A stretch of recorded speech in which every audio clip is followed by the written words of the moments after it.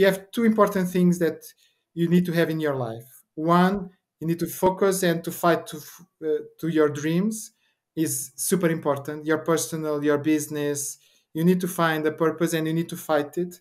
Um, and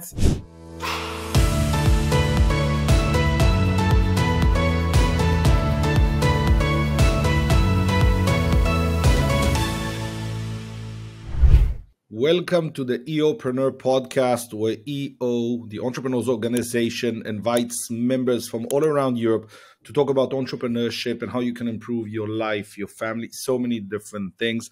In today's episode, we're going to talk a lot about a lot of things real estate, how to build new concepts of marketing, how to make a change and an impact in a very old traditional industry.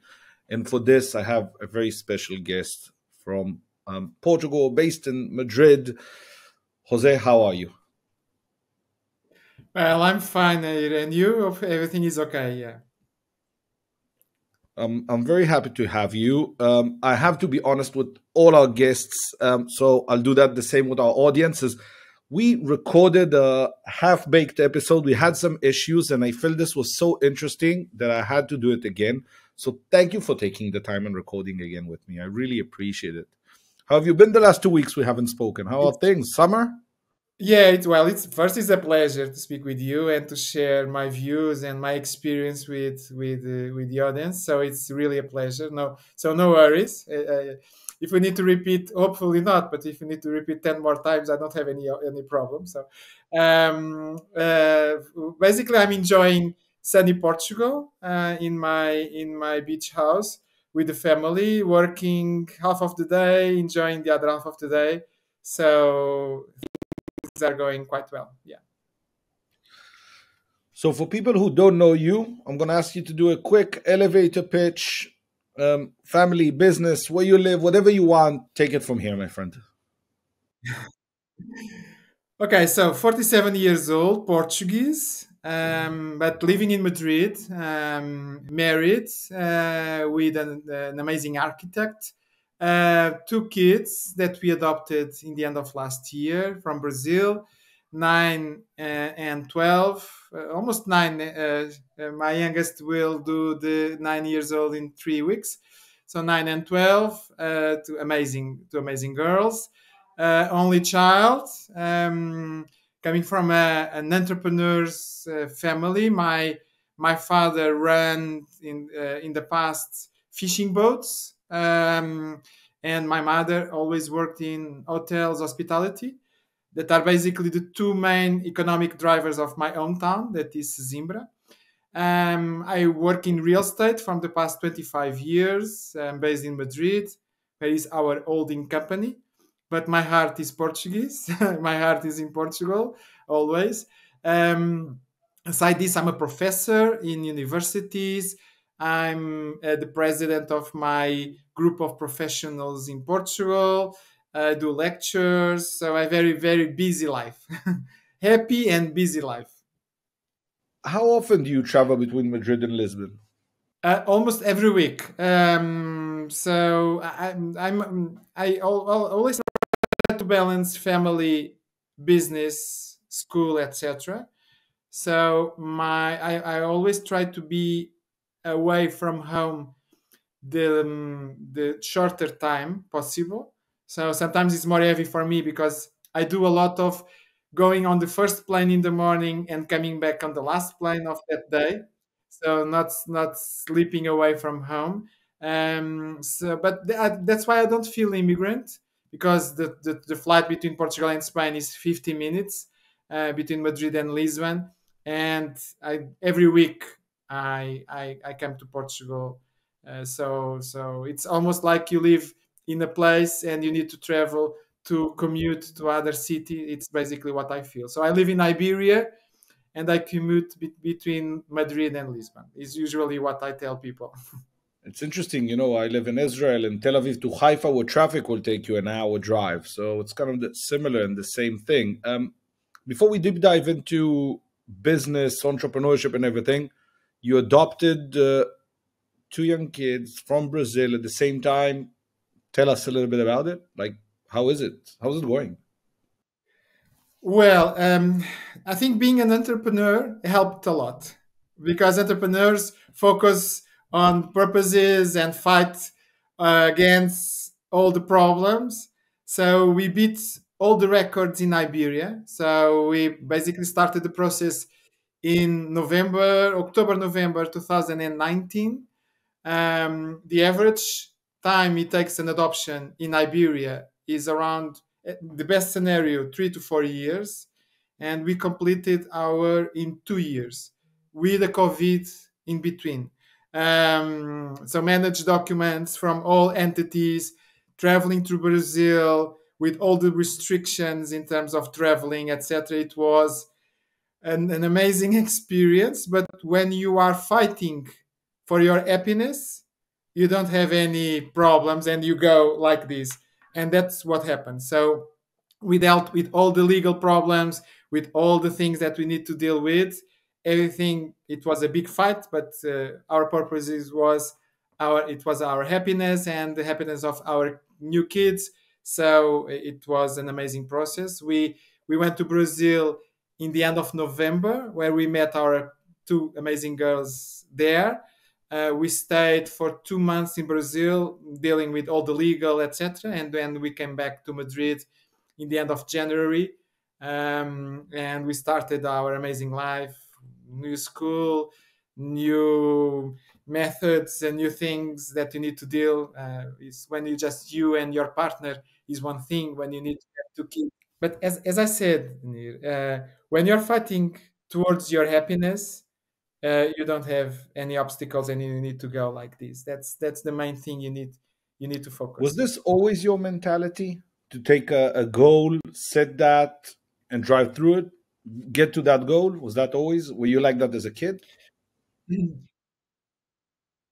Nir, uh, the best way to, to answer you this is when I was in kindergarten with five years old, five years old, I organized the Christmas party of the of the kindergarten. so I, I, think it's the best way to tell you this is that I I was always the kid, the the young guy, the man that want was super focused for the purposes. If when I was very very young, um, almost every time of my life I was focused on the half full bottle, not the half empty. So I'm I'm for nature a positive guy uh, and uh, I'm a fighter since since I think I was born, as my mother says. Eh, since the first day of of coming into the world, I was an amazing fighter. I had a, a massive health problems when I was very young. Um, probably, I think this helped to be a fighter. Uh, but since the first day, uh, so I, I think I was born like this. It's in my DNA. So you said real estate for 25 years, but what how did you start? What did you study? What was your process until you got to owning your own business? Being completely honest with you, Nir, when I was quite young, I, I always thought I want to be something that can allows me to retire very young. so that was my main purpose in life um, and to feel happy with what I was doing. Okay. So I remember when I was very uh, numbers and money and accounting. So that that part always was amazing for me since I was very young.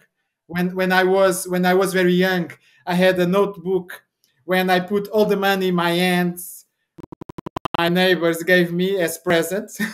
so I will always like like this when I was very young.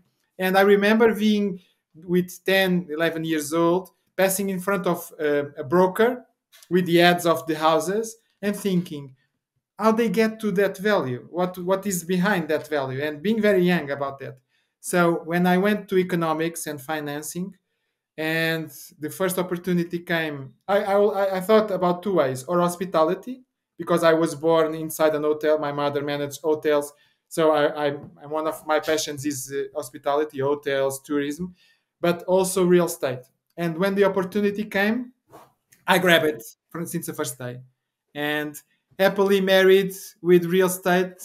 Uh, it, I will do 25 years next October that I start working in real estate. What, what did you study though? Today you teach. What did you study initially? Finance? I, I studied economics and finance.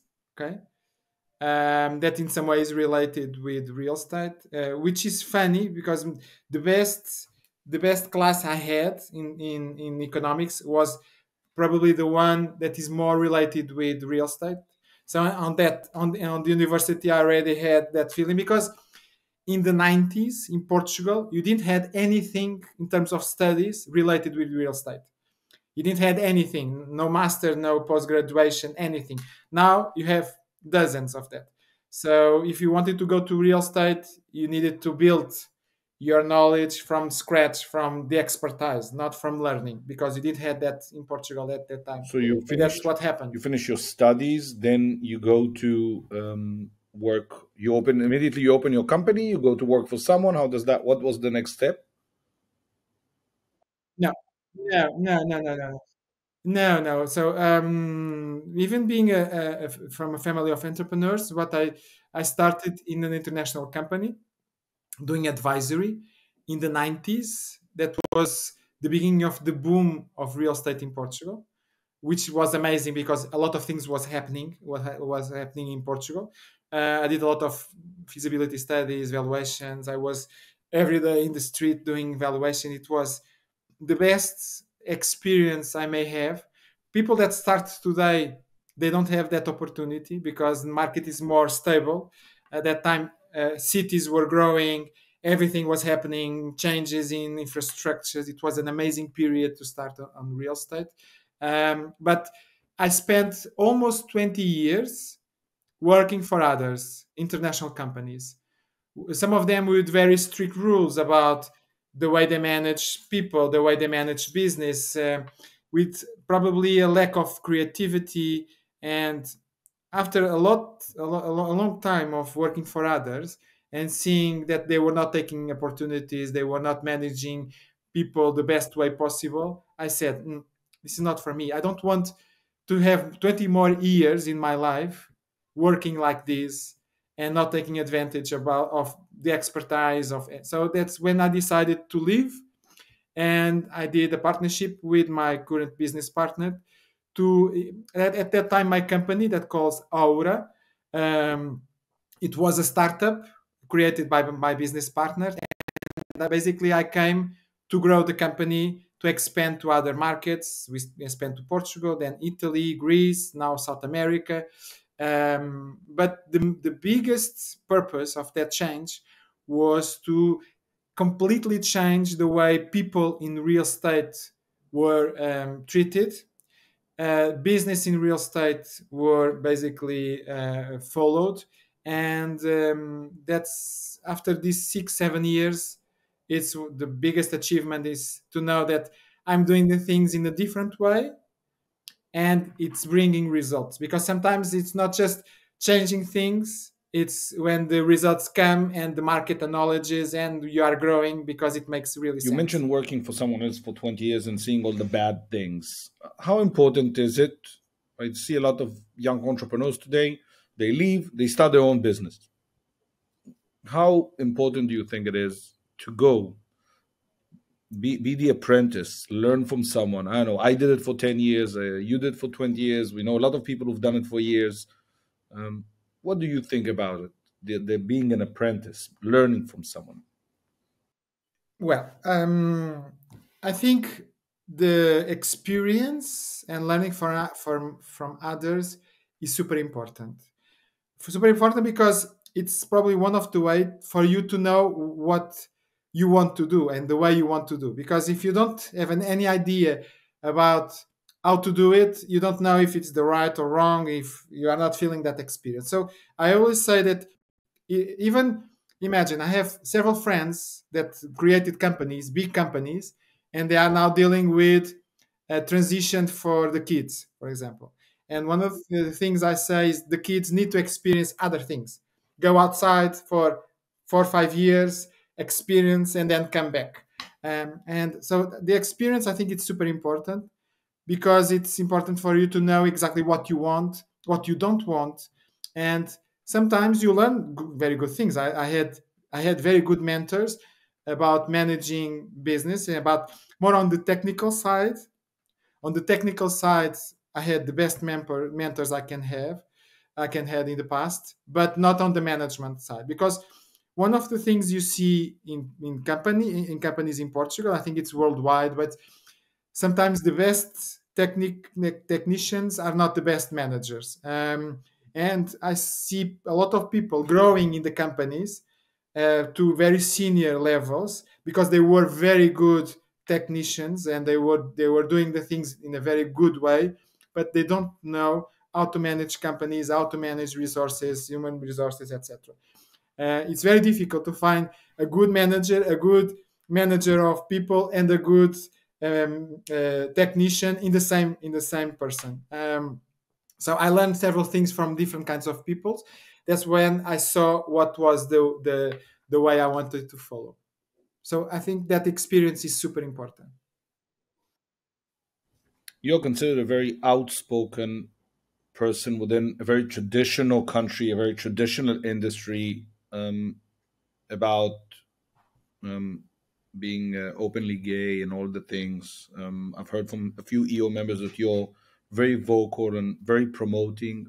How was it to start in a very traditional industry? Did you do you think that made you better this this drive? Do you think those were not open to you? Can you give me a little bit of a glimpse so I understand? Yeah, well, um, you need to manage. You need to include that two important things. Well, real estate market, it's a very conservative market. Uh, it's um, it started with the construction guys, so very manly. um, even uh, um, now it's a little bit different. But when I started, you almost didn't had any women working in real estate, even on advisory. I'm not talking about construction, but even on advisory, you didn't have any women working in real estate. Now you have a few, but you are so it's very manly, very conservative things doing with procedures like this, and and also Portugal is an amazing country, but it was very Catholic. Um, with some ideas about about the perfect family. Uh, I remember when I in my hometown, um, the first time I saw I, I I was connected with a couple that was divorced. It was when I went to university because it, Portugal it was uh, it changed a lot in the last two three decades, but it was a very conservative country. Oh, oh, oh, nowadays a, completely different, but. I, I basically fall. It was not. It was not always amazingly uh, beautiful. The so sometimes it's difficult, but I, I saw an opportunity that the best way to fight um, these conservative uh, mindsets and some people that are a little bit homophobic, etc., is to show them that you are like them, that you are normal, that you have a family, that um, uh, you don't do a lot of things that in their minds are completely out of the norms of the day. So I'm a normal guy that I pick my I, I go to the college with my kids. I prepare lunch. I I manage uh, house. So I'm I'm not different in everything, with probably a couple of of, of exceptions uh, from them. And people in real estate change, and I have a lot of people that tells me nowadays that they change the way they look and this is one of my big uh, uh, things that I, I get I got in in my life is that people get, get to me and say you change the way I look to the gay community to globally being different okay? Because you basically told us that you are like us in everything in your life but then you change something um, that is not exactly the same as everybody have. So um, uh, it was a long process, but doing the things the most normal thing and not showing in their faces, "I'm gay, I'm gay, I'm gay, I'm gay" every day. It, that I think it's it's not the best approach. You say, "No, I'm like you. I'm like you." Um, uh, it was the best way to it's change. Interesting. Um, you say, "I'm like you." I believe everyone is the same. We're just different in certain things, but we are all very similar and I applaud you because I believe, you know, um, I always tell my friends I'm, I'm the most average person you'll meet. I'm average size, average weight, average, everything is very average, and I like it, and I'm very average. But you are leading a change, and I like the fact that even with the struggles and everything, especially in a very um, traditional culture and industry, that you have decided to push through and say, I own it, I will change it, and, and leading that. And I really appreciate when I meet people like that. I think that's, at least for me on a personal level, it's inspiring. And thank you for sharing. How was it in going to teach, for example? Were you automatically accepted? Was it different? Well, I was I in my company in my companies i trained a lot of people. So the teaching process was already something that i had in my life since a long time ago. Um, and when the new let's say uh, trainings masters came into portugal and with the knowledge i had i was one of the first uh, professionals to be invited to be a part of this of this. And it was amazing um, because one of the things I, I have I have two passions in teaching. One is to share my views, not just the technical ones, but my experience. Um, a huge part of my classes is sh- sharing of experience. I did this, it happened this in one specific case. So I'm not telling to to to value this as you need to follow this method. One plus one is two. No, no, my classes is not like this. Is that 10 years ago, I had a very complex hotel to value, and this was the challenge. Uh, so that's the way I do. And then the second thing is the connection that we lost a little bit with these online classes and with COVID, etc. But when I'm in class, I want to be facing face to face with the students, and I'm the guy that is walking across the, the room. I'm not the guy that is in front showing things. I'm I'm going there and I and usually i'm quite controversial because i say things that usually the other professors don't say. So i, I don't I, I don't show just the perfect world. I also ch- uh, show them the problems the things that they will have in their lives. Give me an example. For example one of one of the classes i do is ethics okay? Is uh, ethics in real estate. I'm i'm one I, am the, the only professor in Portugal that is allowed to do ethics in real estate. Um, and my ethics classes is uh, all about the bad things. It's not, you need to be perfect, you need to manage conflicts, you don't need to value things from your family. Now, I always say, I went, for example, one of the uh, one of the things that happened in Portugal, in in uh, in some real estate projects that were on sale, new projects, they used um, arguments uh, to sell apartments that put away other people in the society, for, for example. And I, I, I give these examples to show them that it's, this is not the way we need to address real estate, to address marketing, to address and and uh, people. So I always, for example, very technical thing, how to value an apartment okay? The other professors say you need to use this method. No i say in your real life you will need to fight about lack of comparables. You will not have transactions. You need to speak with brokers. You need to have a network. That's what they want to hear. It's not they don't want to hear this is the amazing method. Nowadays you can go to google you can go to youtube and have online classes. What they want to have is professors with experience not professors that they don't leave universities to the real world. And that's the biggest difference. I think I'm from the other professors, and I say this openly in classes to other professors is that I'm a real guy, a guy that comes from the real world, not the guys that comes from the libraries, from the universities that don't have any connection. It's amazing in several areas, not in real estate. Real estate, you need to feel the brick. You need to be in the ground. You need to understand what are the challenges. You know, I I started teaching in 2014 in colleges, and uh, now I teach in um, universities and uh, the global MBA and stuff. So I completely understand what you're saying, and um, sometimes we even divide the class by saying, "Hey, so this is what it's supposed to be. This is reality. Now, if you fill in the gap, you have a business or, or you have a new way of doing marketing.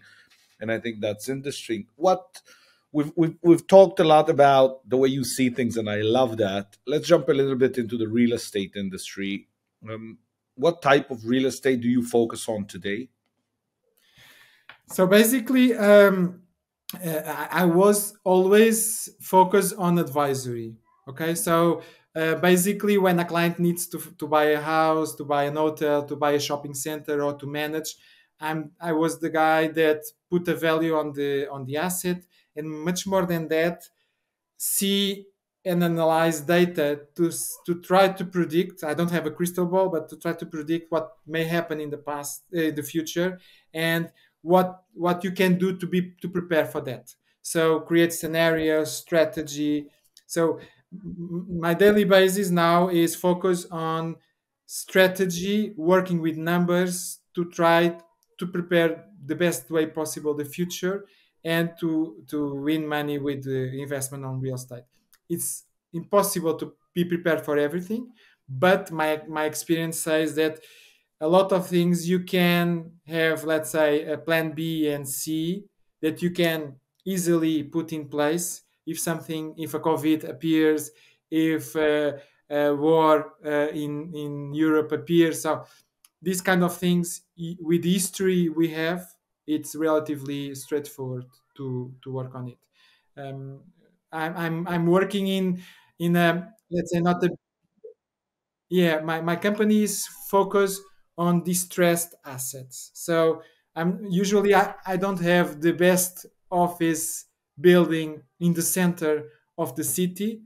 I usually need to find a strategy for the office building that someone decided to build in the, the middle of a countryside. um, so that's the kind of things that I'm working. So really, really big challenges. Uh, that's the, the that I think otherwise I will not be so happy about what I do because it, everybody can value a, a big, a good office building in the center of Lisbon, but probably just a few can value and think about an office building completely far away from everything. How many? Uh, how how big is your staff today in all those places in all those locations? Well, um, we are hiring every day. so uh, we we have currently in Europe four four countries: Portugal, Spain, Italy, and Greece. Uh, we also have partnerships in South America. So between staff and technical team, uh, we are reaching almost 150 people nowadays, uh, different levels in the all the countries we we manage. Uh, so I always think when when I reach the end of the month and I need to sign salary. Uh, the reason why I'm asking about the amount of staff is because your concept of your business is mainly consulting. So what I'm interested in is how do you scale a consulting business? Many people are always wondering, is it possible? How to do it? Would love to hear your thoughts. If if, if just give you an example, um, the main driver of my company was to reduce the the all the all the things that you need to do that a machine can do okay in each country all my competitors have at least three or four times more people to do the same that my my staff does okay? Because we invested a lot in IT in machines doing let's say the hard work. So when my team needs to look into an asset uh, to do evaluation 90% of the job is already done by the machine. And what the only thing they need to do is to put in front of the computer and think about it. So the majority of my people i'm paying them not to do but to think to come out of the box look at the picture and think about solutions because what I saw in real estate is that people took a lot of time doing things that it's not value added, uh, that you need to do, but it's not value added. So that's why I focus on IT to reduce this time consuming of things that are not value and how do you build your business uh, um, around content around marketing what is the best Yeah, well, when you do advisory and when you put values, we are dealing with millions of euros. So people need to trust you, need to trust your knowledge. In all, all the ways of consultancy, if it's real estate or other thing, your clients need to trust you. Okay. So that's why when we thought what, how we can reach more clients, how we can increase our clients' uh, network, we thought we can do marketing, we can do publicity, but you are saying, I'm the best, you trust us. That's not the best way to do it. They really need to understand that they can trust you. And that's when we decided that not investing in marketing, pure marketing, we decided to, to invest in information, in being trustable to the market. So when that's when we decided to create an online newspaper, just focus on real estate, where every day we publish everything that is happening in real estate. New development, new law, uh, this company is hiring this guy, uh, interviews about change of construction costs. Every day, all the market receives all the information from us. Even my competitor, he closed a deal. We published that we interview the CEO of my biggest competitor. So it's an independent newspaper. It's focused on information. And the way my business changed in the last two, three years after doing this, it's amazing because, and we invest zero in pure publicity. We invest in people, in journalists, in, in this kind of networking. And it was amazing the return because people say, these guys they know exactly what is happening it's the best guys to hire you started another business though completely different one nowadays yeah.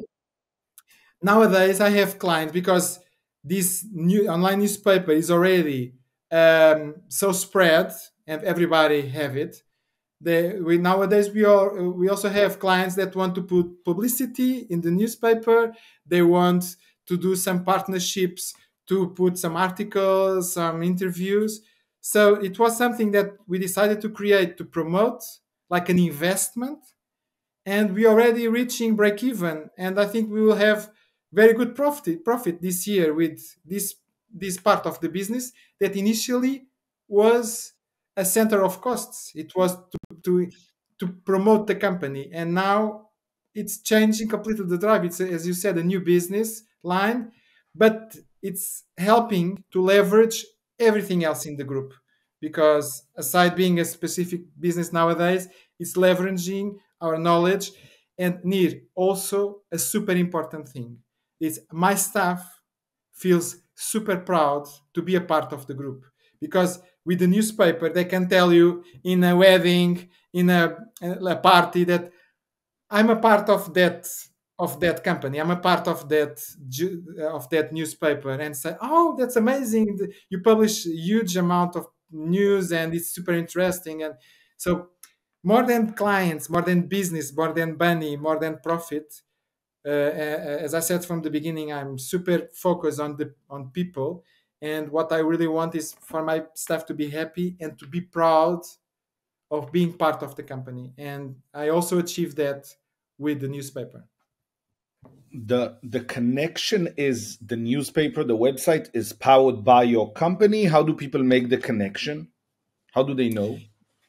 Yeah so basically um, my main company the name is aura from uh, this uh, let's say uh, overwhelming things. And the newspaper the platform is brains so everything is here or above so mind or above because aura it's something that is above your hair or head.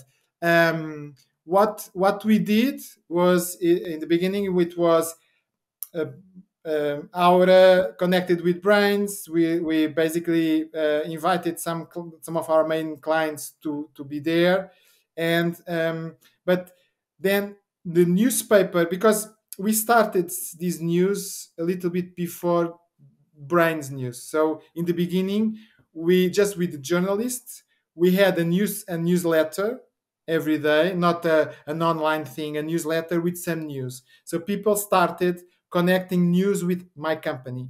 Then when we launched the newspaper with a different name, um, they're already connecting this kind of news with Aura, and it's completely merged today. So it's different names, completely merged, and the market knowledge that is brains and Aura, it's the same guys that can do this.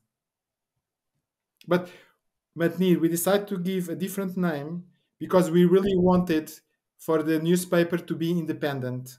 It's connected with Aura, but is independent. Everybody can publish it. We are talking about all the companies, not just about Aura, what we do. So we are not promoting our company. We almost don't publish anything that Aura did.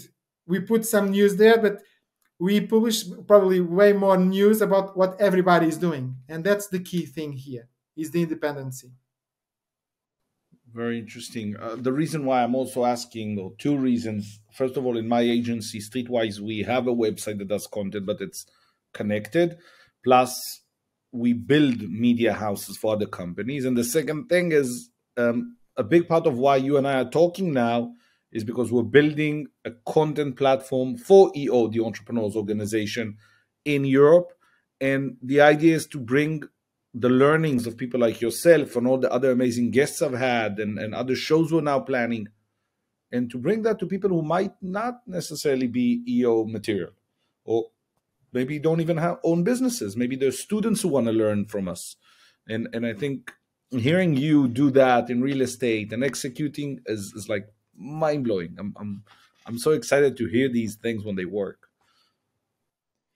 Yeah, and and the, the, the, important thing is to go and it's this is already everybody speaks about this but really going out of the box when i say out of the box in this it i think it was super easy to create something completely connected with my company initially.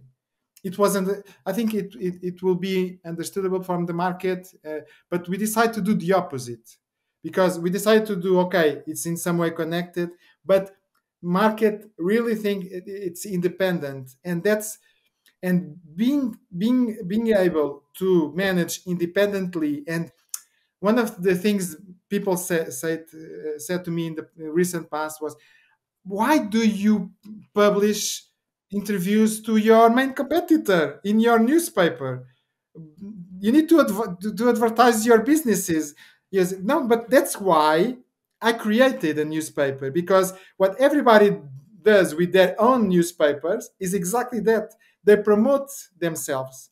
They are not completely exempt and independent, as is the the main. If, if you study journalist and if you your passion is to deliver news, you know that it's important to be independent. It's important to think about the way you want to to advertise uh, and to put your, your news there. And one of my critics in, in, in, in this media world, I'm talking about TVs, newspapers, etc., is that usually they promote their collectoral businesses way more than the competitors. And being able to give uh, exposure to your competitors, I'm, I'm winning um, clients that work for my competitors without any commercial uh, effort because they say this guy is amazing because he's showing the competitor because so he's completely free to work with everybody he's not focused about he's not afraid of anything uh, so when when when when you publish and when you give exposure to your client to your competitors the market per- perceives that okay, this guy is not afraid. He, he, he really trusts their guts. He really trusts the quality of the business. So I, I need to work with this guy, uh, and that's that's what we are achieving nowadays. I like it. I feel the whole theme of this conversation is own it and execute. Yeah, yeah, and mm, I think I, I always, I always, uh, we thought we, we speak about entrepreneurs and we have different kinds of peoples in this world, um, but you need to find. You have two important things that you need to have in your life. One, you need to focus and to fight to uh, to your dreams is super important. Your personal, your business. You need to find a purpose and you need to fight it. Um, and you need to find the best version of yourself i'm not talking i'm not a, a guru and that but but I'm, I'm here today speaking with you with everything that I built in my personal and my business life because I always found the best version of me to put in everything I do in my life. And I think that's the key to any business, to any entrepreneur, to any young guy that goes to college is is that. And it's not easy, but is the best way to get your happiness is to find that version of your of your yourself. I completely agree. And, you know, I'm now finishing my third book and kind of like have the, the option or the ability to step away from the business and sit at home alone all day and write and edit. By the way, it's a horrible process, but I'm going to finish it one day. And I always tell people um, this was this is going to be the last book I write until I write the next one. And it, it takes time to find your your inner peace, your your process, what you want to achieve, and everything. But as you said, keep pushing. You'll find it. On a personal note, I'm so happy we we got the chance to speak again. I feel inspired. Thank you for this. Um, last words where people can find you. Um, we'll also add your LinkedIn and everything else. Some last words. Well, uh, uh, it's it's not difficult to find me because I'm everywhere. um, uh, but uh, uh, my, my final final word is what I always say to my mentees um, when uh, when I need to focus is that everybody have problems in their lives. Our life is not always amazing. I think it's difficult to have to know somebody that had a perfect life since the day they were born we always need to fight against problems. Uh, what you need to to have in your life is to reduce the negative part of your life and the part that I'm, I panic and I need to to find a solution. Be focused on that part, and I, I, I really say this: you need to find yourself and the, what you really want to do with your life and to be happy. Um, somebody, somebody believe in other lives other people don't believe in other lives. I, I, I will not discuss religion. What uh, what is clear for me in all the religions is that at least this one is guaranteed. If it's more or not, that's a different discussion. You need to enjoy this life, and you need to do everything to be happy every day. Sometimes it's not there. Sometimes you need to fight some things. Sometimes sometimes you are in a bad mood, a big problem to solve one of your friends died. Your in my case my father already died with a huge problem. Of course that happens but you need to find the focus. You need to find your inner peace. If it's in entrepreneurs if it's in real estate if it is in whatever. That's the the message i always say to people who uh, in these cases is more than business getting money a big house you need to find your happiness. That's the the if you find that everything else will appear in your life. I love it, Jose. I want to say a huge thank you for being here. To everyone listening and watching, I want to say a huge thank you for um, being with us at the Europreneur podcast. If you want something, if you have any questions, feel free to visit us on the website. There's the podcast and more shows and articles and information about so many different industries and so many amazing stories that people are doing all around Europe. Thank you, everyone, for watching. I'll see you on the next episode. My name is Nir Zavaro. Thank you.